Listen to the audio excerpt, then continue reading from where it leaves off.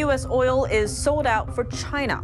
The Senate backing a measure to bar sales of strategic petroleum reserves to Beijing. The latest development in a Chinese hacking incident, taking aim at specific U.S. email accounts.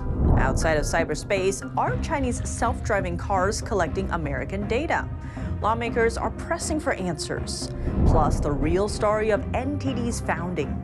Websites attacked, advertisers threatened, and one chief technology officer blindfolded to a chair and beaten. Stay with us to find out.